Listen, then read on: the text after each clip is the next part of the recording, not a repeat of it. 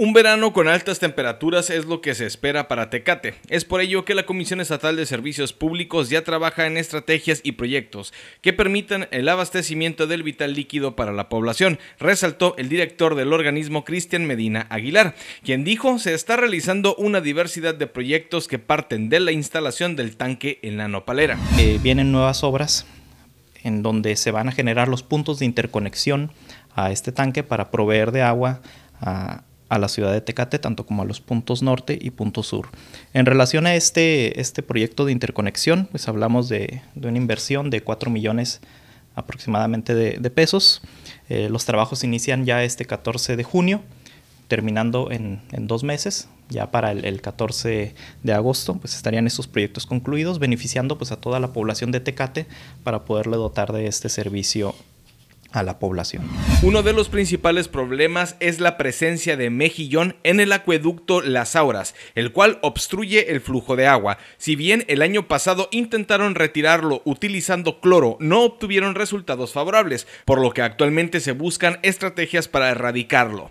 Si bien el año pasado se tenía registrado un flujo de 284 litros por segundo, este año bajó a 251, por lo que ya tienen en puerta proyectos que vengan a aumentar la capacidad operativa. También tenemos los proyectos en puerta eh, sobre aumentar la capacidad de potabilización, precisamente para poder alimentar de forma más eficiente estos tanques. Actualmente, con con el sentido de que contábamos con un solo tanque, eh, parábamos nuestras operaciones de potabilización durante, eh, durante la noche.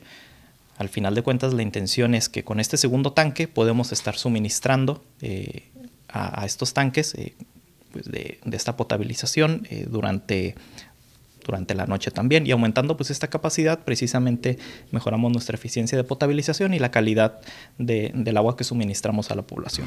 El vandalismo ha afectado tanto el abastecimiento como las arcas de la Comisión Estatal de Servicios Públicos, comentó Cristian Medina. Por ello se están fortaleciendo las medidas de seguridad tanto en las plantas potabilizadoras de la ciudad como en la zona rural. Esto a fin de reducir los robos como el registrado recientemente en la Sierrita que afectó severamente el suministro de agua.